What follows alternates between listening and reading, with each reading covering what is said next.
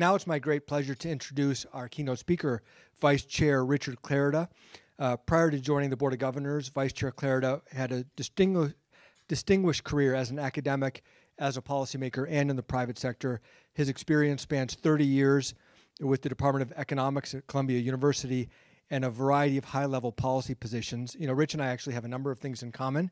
We were both, as was David, assistant secretaries at the Treasury Department at different times under different Treasury secretaries. Uh, Rich and I both went to University of Illinois in Urbana, and we both overlapped together at PIMCO. Other than those, that's what we have in common. You're going to see there's a lot of things that are different between the two of us. Um, but Rich is a great colleague to have, and we're thrilled to have him at the Board of Governors. He also served on the Council of Economic Advisors under President Reagan. Uh, today's conference, just to put it in context, is one event in a year-long series that Rich is overseeing on behalf of the Federal Reserve System. So what's going on? Uh, we are taking a step back and assessing how we approach monetary policy. It's not about current economic conditions. It's about do we have the right way of thinking about monetary policy? Are we, we have the right goals and are we approaching it the right way? I'll let Rich talk about it more. But we're really thrilled that Rich is here. And Rich has agreed to take questions from all of us. The only request that I have of you is let's, you know, we have Rich Clarida here. Everyone may ask him, when are we going to cut rates or when are we going to raise rates? Let's try to focus the questions on the topic at hand and the discussion that we've been having today and his comments today. If you could do that, I would very much appreciate it. So with that, please join me in welcoming Rich Clarida.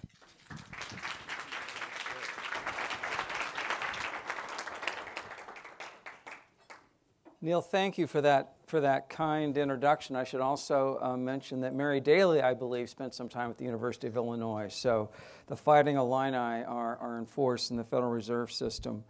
I am generally really pleased and, and, and really honored to attend this Fed Listens event on the distributional consequences of the business cycle and monetary policy. The Opportunity and Inclusive Growth Institute at the Federal Reserve Bank of Minneapolis is really a natural and ideal venue for discussing this topic in the context of the broad review of our monetary policy framework that we are undertaking uh, this year. And to get off the script a little bit, and I'm really grateful uh, to Neil for, for getting this event scheduled early on in the year to really lead by example about what an event like this uh, can, can be. So thank you so much, Neil and, and team. Let's talk a little bit about the review. In our review, we are examining the policy strategies, the tools, and the communication practices that the FOMC uses to pursue the Fed's dual mandate goals of maximum employment and price stability. I will speak this evening about the motivation for and the scope of our review. We are bringing open minds to it and are seeking perspectives from a broad range of interested individuals and groups. And as the panel of researchers we heard from this afternoon and community leaders we will hear from tomorrow.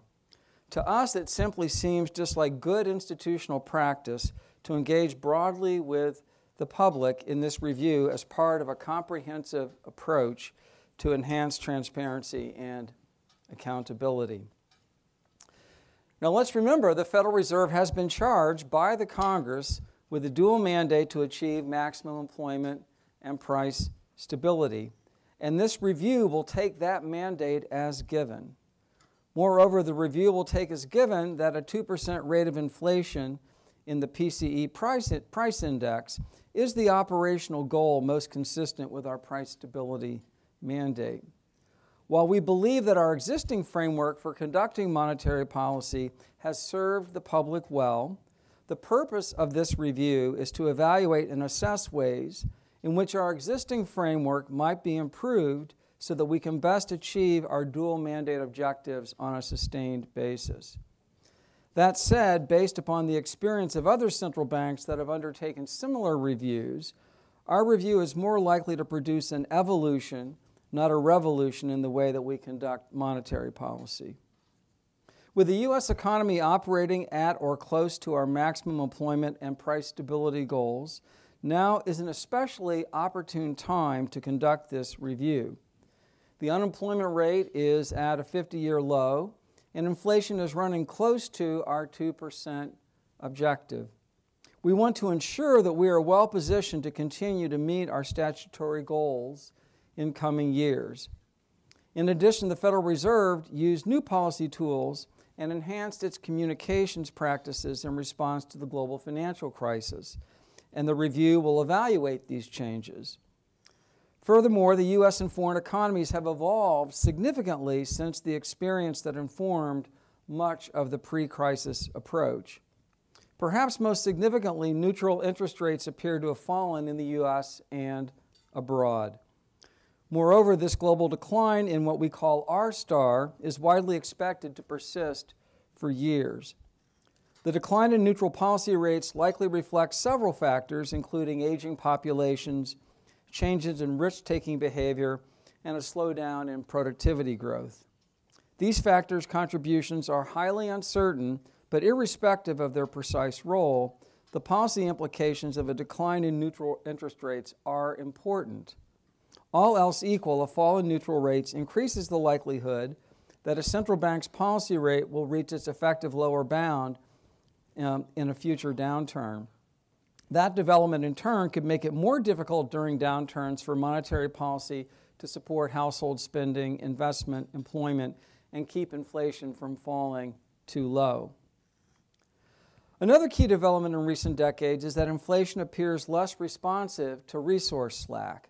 That is, the short run Phillips curve that we heard about today appears to have flattened, implying a change in the dynamic relationship between inflation and employment. A flatter Phillips curve is, in a sense, a proverbial double edged sword. It permits the Federal Reserve to support employment more aggressively during downturns because the sustained inflation breakout is less likely when a Phillips curve is flatter. However, a flatter Phillips curve also increases the cost in terms of economic output of reversing an unwelcome increase in longer run inflation expectations. Thus, a flatter Phillips curve makes it all the more important that longer run inflation expectations remain anchored at levels consistent with our 2% inflation objective. Finally, and I think appropriate for this conference, the strengthening of the labor market in recent years has highlighted the challenges of assessing the proximity of labor market to full employment lag of the Fed's dual mandate. The unemployment rate, which stood at 3.8% in March, has been interpreted by many observers as suggesting that the labor market is currently operating beyond full employment. However, the level of employment the level of the unemployment rate that is consistent with full employment is not something that we directly observe. We have to infer it and estimate it from data.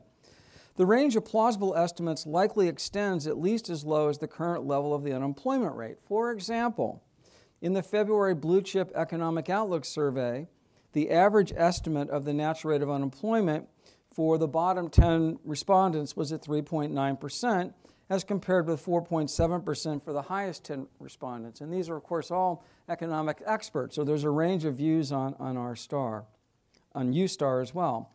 The decline in the unemployment rate in recent years has been accompanied by an increase in labor force participation, with especially pronounced gains for individuals in their prime working years.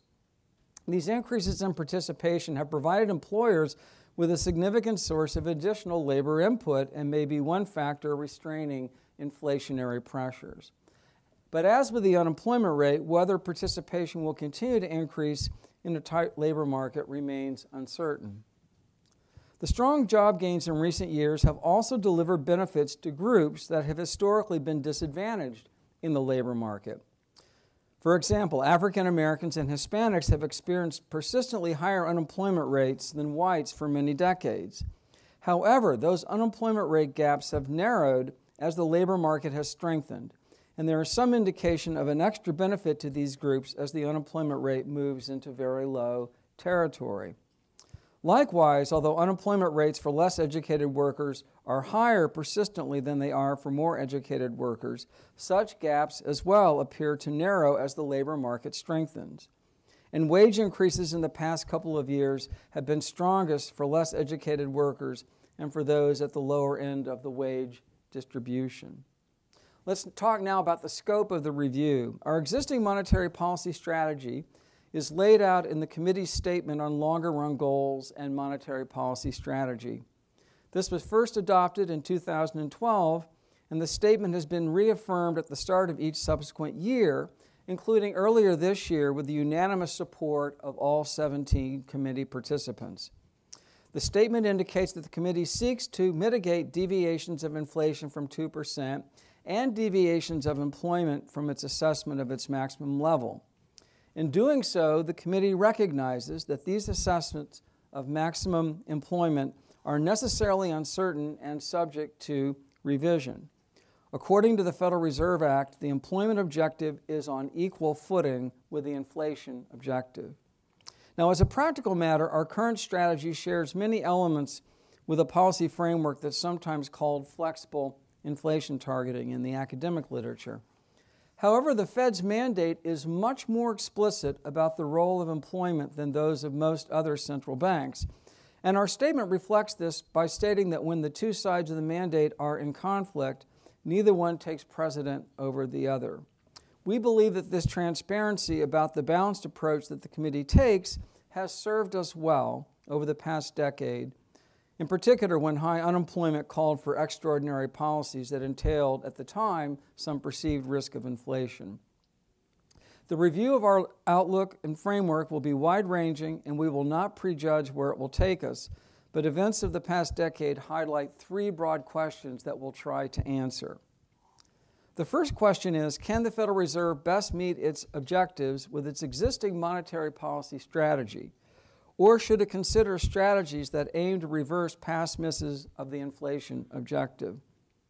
Under our current approach, as well as that of many other central banks around the world, persistent shortfalls of inflation that many advanced economies have experienced over the past decade are treated as bygones. This means that policy today is not adjusted to offset past inflation shortfalls with future overshoots of inflation. And to be clear, nor would persistent overshoots of inflation trigger policies that aim to undershoot the inflation target. Central banks are generally believed to have effective tools for preventing persistent inflation overshoots, but the effective lower bound on interest rates make persistent undershoots more likely. Persistent inflation shortfalls carry the risk that longer term inflation expectations become poorly anchored or become anchored below the stated inflation goal. In part because of that concern, some economists have advocated so called make-up strategies, under which policymakers seek to undo in part or in whole past inflation deviations from target. Such strategies include targeting average inflation over a multi year period and versions of what's called price level targeting, in which policymakers seek to stabilize the price level around a constant growth path. These strategies have been suggested and could be implement, implemented either permanently or as a temporary response to extraordinary circumstances. For example, the central bank could commit at the time when the policy rate reaches the effective lower bound to maintain the policy rate at this level until inflation over the period has on average run at its target rate.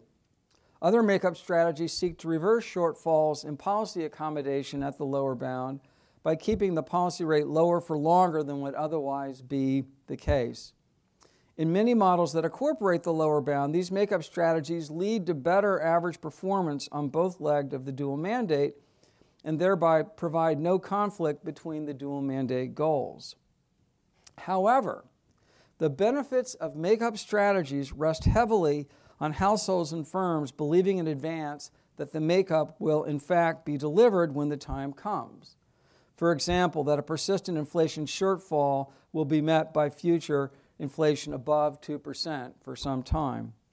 Now, as is well known from the research literature, make-up strategies in general are not time consistent because when the time comes to push inflation above 2%, conditions at that time will not warrant doing so.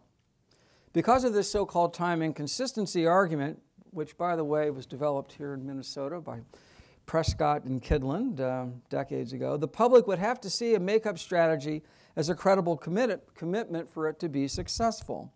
The important real world consideration that I've just mentioned is often overlooked in academic literature, in which central bank commitment devices are simply assumed to exist and to be instantly credible upon decree. Thus, one of the challenging questions that we'll face is whether central banks could, in practice, attain the benefits of make-up strategies that are possible in the theoretical models. The next question the review will consider is Are existing monetary po- policy tools adequate to achieve and maintain maximum employment and price stability, or should the toolkit be expanded?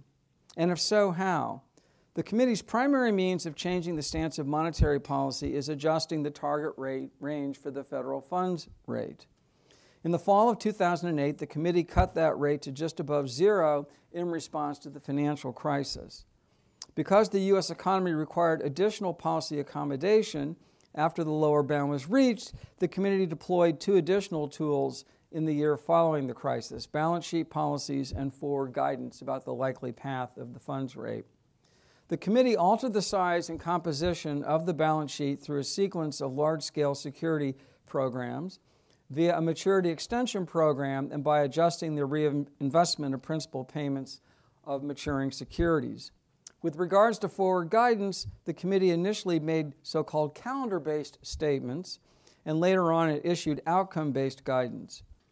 Overall, the empirical evidence suggests that these added tools help stem the crisis and support economic recovery by strengthening the labor market and lifting inflation back towards 2%.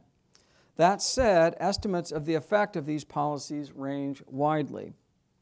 In addition to assessing the efficacy of these tools, we will examine additional tools to ease policy uh, when and if the ELB is binding in the future. During the crisis and its aftermath, the Fed considered but ultimately found some of the tools deployed by other central banks around the world wanting relative to the alternatives that it did pursue. But our review will reassess our earlier findings in light of the more recent experience in other countries. The third question the review will consider is how can the committee's communication of its policy framework and implementation be improved? Our communication practices have evolved considerably since 1994 when the Fed released the first statement after an FOMC meeting. Over the past decade or so, the committee has enhanced its communication practices to promote public standing of understanding of its policy goals, its strategy, and actions, as well as to foster democratic accountability.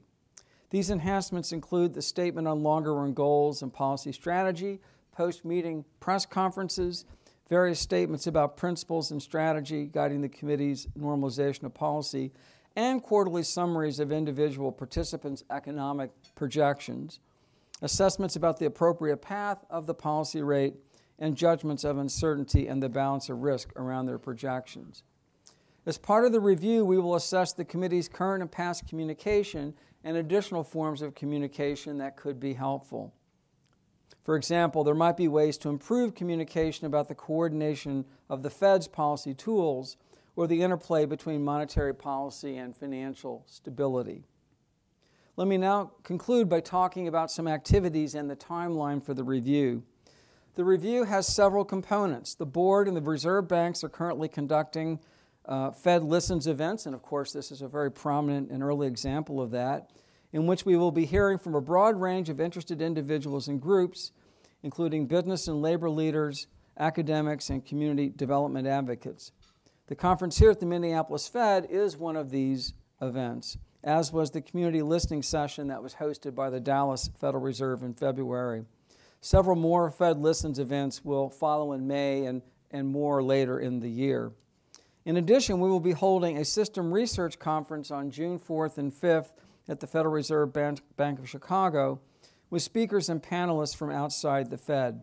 The program includes overviews by academic experts on themes that are central to our review the committee's monetary policy since the financial crisis, assessments of maximum sustainable employment, alternative policy frameworks and strategies, our policy tools, global considerations, and financial stability, as well as central bank communication. Two sessions will feature panels of community leaders who will share their perspectives on the labor market and the effect of monetary policy on their constituencies. Now, we expect to release summaries of these Fed Listens events and to live stream the Chicago conference. Building on the perspectives that we hear and on staff analysis, the committee will conduct its own assessment of its policy framework beginning around the middle of the year, and we plan to share our conclusions with the public in 2020. The economy is constantly evolving, bringing with it new policy challenges.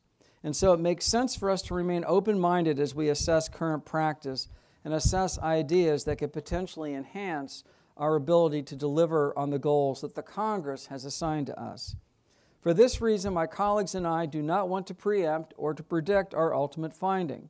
What I can say is that any refinements or more material changes to our framework that we might make will be aimed solely at enhancing our ability to achieve and sustain our dual mandate objectives in the world in which we live in today. Thank you very much, and I look forward to your questions. Thank you.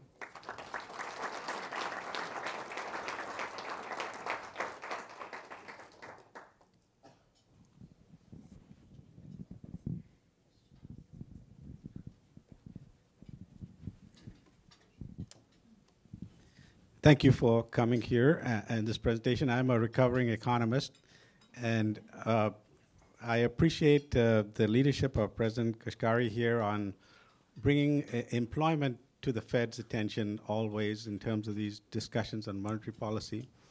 And when I was in grad school 30 years ago, uh, the theory, there was an intriguing theory that the Fed does not control the economy or through monetary policy, but reacts to the economy, and that established, uh, say, big players like multinational corporations, uh, big businesses, they don't have a problem of finding capital. They can get it whatever the interest rate is. Yep. And so the problem is the, the policy interest rates are set on the assumption that everybody's is behaving like, like these big players who are outside the system. I just got a call from, while I'm sitting here, uh, from someone, and this is her story. Uh, she is a small entrepreneur, uh, is taking a loan from a loan shark.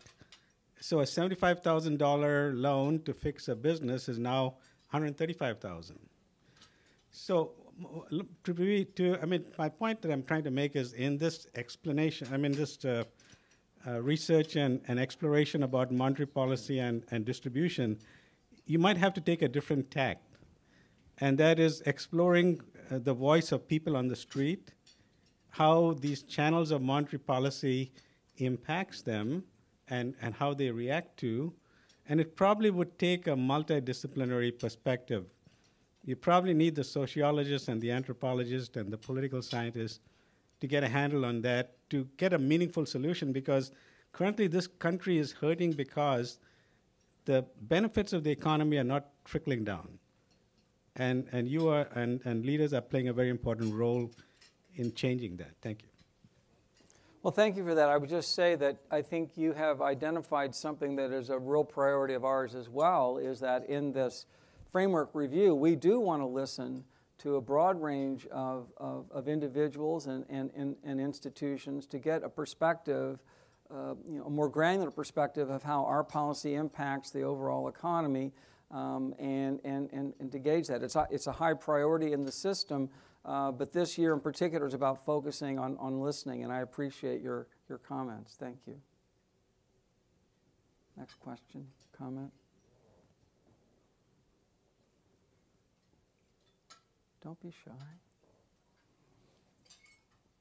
Back there. Hi, I'm Josh Bivens from EPI. Uh, thank you for your speech. It was great. I, I had a question. So you mentioned before um, Congress gives the Fed its mandate. Since about, for a big part of the recovery, I would argue Congress was also keeping the Fed from being able to hit its dual mandate. Basically, the very severe fiscal contraction we had after about 2012 was the primary thing holding back recovery, keeping both unemployment too high and inflation too low. What are the possibilities of part of the Fed's rethink is, you know, to be really blunt, just just being more blunt with Congress and telling them the Fed will not hit its dual mandate because of the actions of Congress and the president in the fiscal stance. I feel like the Fed has tremendous credibility on Capitol Hill in terms of its assessment of what the macroeconomy needs. And I feel like sometimes over this past recovery, the Fed thought it was being kind of loud about what the fiscal stance was doing to recovery, but I don't know you know, being loud by the standards of normal human communication are different from what the Fed often thinks is being loud. And so I think more blunt communication to what the congressional fiscal stance is doing to recovery should be part of the mix as well. Well, I think that at the, at, at the Fed, we, we, we take fiscal policy as a given. That's the purview of the Congress and, and the White House, and, it, and, it, and it's not in, in, in our uh, a mandate to, to, to, um, to, to, uh, to conduct fiscal policy. What we do at the Fed is we take fiscal policy and fiscal projections as an input to the policy that we need to, to run. I wasn't at the Fed back in the period that, that you mentioned, but I do note that during that period, uh, you know, rates were at zero and we had various quantitative easing programs in, in play. Um, and I guess when the transcripts come out, we can learn about the factor that that played. But broadly speaking, fiscal policy is an input to what we, we do, and we take it into account in that way. But thank you, Josh.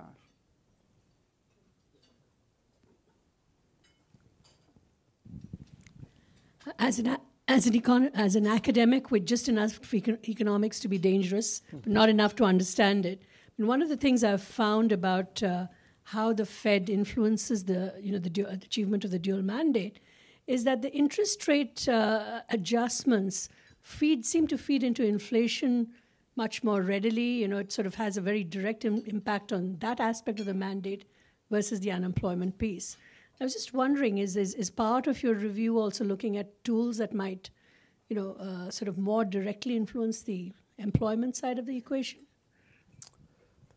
That's a good point, and I think at the broad, the broad uh, way I think about that is, is, is the, tran- the transmission mechanism of monetary policy. It's, a, it's an area in which the board has considerable expertise, you know, in large part to Dave's leadership for, for 30 years. And I think one of the great things that I've learned in my six months at the board um, is, is the staff and the governors are very attuned to the need to be flexible and attentive to evolutions and changes. Um, um, in the economy. You know, that said, you know, we have a pretty limited set of tools. They're really aggregate tools that impact averages in the overall economy. And we do need to, to remember to remember that. But I think your general observation, um, you know, there are big changes in, in labor markets, you know, when compared to when Neil and I were at the U of I decades ago. And we have to factor those into um, um, account, demographic changes and others. So I, I take your take your point. I can tell you it is a priority of the research that the, that the that the reserve banks uh, do as well as at the board.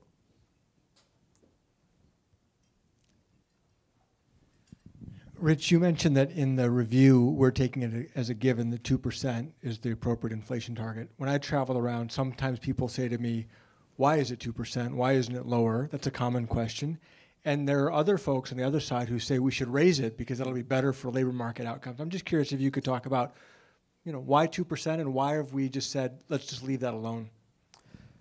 It's a great point. I think in some ways uh, you, you provided part of the answer. There's a, you know, there, there's a range of view, and as, as a central bank, we have to take a view as a committee. And as you know, Neil, you've been involved in this uh, every January. We, we, discuss, we discuss that. Um, I think that um, you know, two percent uh, go all the way back to when Alan Greenspan was chair, and although he never defined two percent, he talked about a low, positive but low rate of inflation that didn't influence economic decisions. So I think the committee continues to believe that two percent satisfies that uh, satisfies that definition. Um, again, you know, for those of us who experienced the 1970s and 80s uh, up close, uh, there's there's a value to having credibility of that two percent target. So, as I said, you know, this is something that we've discussed among ourselves, and we've agreed that uh, that it that it makes sense in this review to maintain that view of price stability as being two percent PCE inflation. But then the real question is how we measure that and over what time frame and with what set of with what set of tools.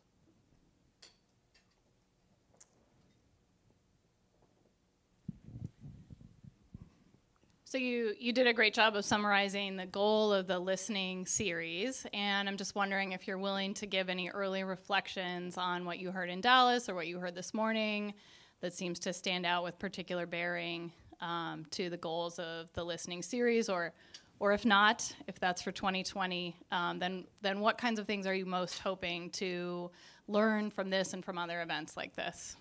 Right.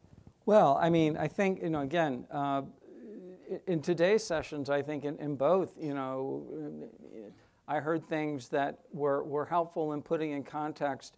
Uh, you know, what, is, what does a full employment mandate mean? The statute uses the words maximum employment, it doesn't define that. And I think, you know, for the economist in the room, sometimes these, these conversations about the mandate can get very NAIRU centric. Are you a 4.1 or a 4.6? And I think what today reminded all, all, of us, and I don't think I need reminding, but it's useful to know that the labor market is a very complex organism and it's useful to you know, keep your eye on multiple indicators of the health of the, of the labor market. So that's, that's certainly, uh, I think that's certainly relevant. Uh, that's certainly relevant uh, here. Uh, and then, you know, more broadly, the, you know, ultimately central banking is, sometimes comes down to trade-offs, and so it's understanding. We talk about Phillips curve slopes and, and full employment, and again, both in this event and in the event that I did in, in Dallas, I found it individually, I found it useful to be getting insights not just about sort of the macro piece of what we do, but how what we do impacts individual community, uh, individual communities and individual um, uh, uh, groups. And so I think, I think the process is off to a good start thanks to you all in Dallas, and I'm sure more good events to, to come. So this is kind of piggybacking on uh, Mr. Kashkari's comment, but uh, is the uh, Fed maybe too concerned with inflation, not enough with unemployment? Why not push for three percent in general? There's a lot of there's a lot of people that are convinced the, the you know the we're more concerned about inflation than we are unemployment. Is there a reason we could get maybe more towards Pu- unemployment? Push for three percent. On the uh, for inflation. Oh, for inflation. Well, as I said, you know, we, we the, one of the big decisions the committee makes every January is is how we define price stability, and I just went through the the different uh, aspects of that um, of that decision. Uh, but um, you know, that that's something that we're taking as given for this uh, review with unanimous support. So. Um, back to uh, the, the first question the gentleman asked, Yeah. although the community development financial institutions are really more treasury programs than Federal Reserve ones, there are a series of, I mean, that's one of the transmission mechanisms by which interest rates, because I, I know this particular Fed has done a lot of work on CDFIs. Are those kind of mechanisms also in your review, or is it really just on the primary mandate issues that Congress Well, has certainly given what you? I, what I can say that is just in my, my six months as a governor, uh, I've already, we, I've already met and we have met as, as a board with the CDFI uh, representatives. And so, you know, I've become more aware of that, of that piece of the economy than I was as a, as a, as a professor. So yes, that's, and apart from the review, that, I think that's something that the, that the reserve banks and the board is, is, is engaged with on an ongoing basis.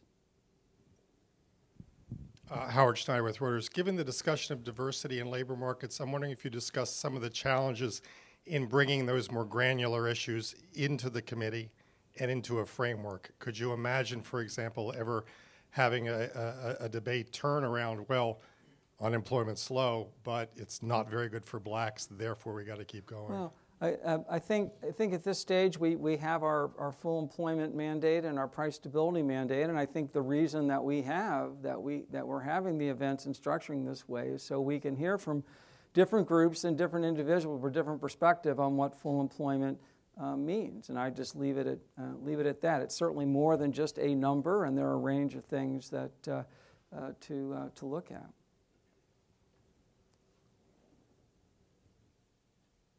Maybe time for one or two more, I think. Yeah.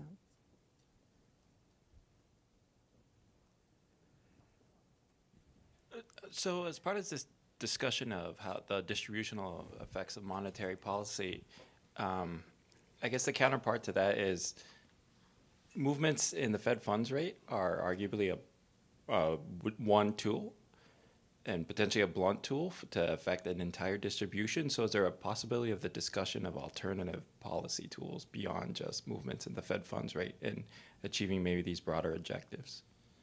Well, what I, can, what I would say on that is, is um, uh, the, the, the, the committee um, has, uh, in the last year, looked at our existing, uh, existing toolkit. Again, for, for the, the dual mandate objectives, I said, of maximum employment and price stability. Um, and, and we feel good about the toolkit that we have in a, in a prospering economy away from the effective lower bound.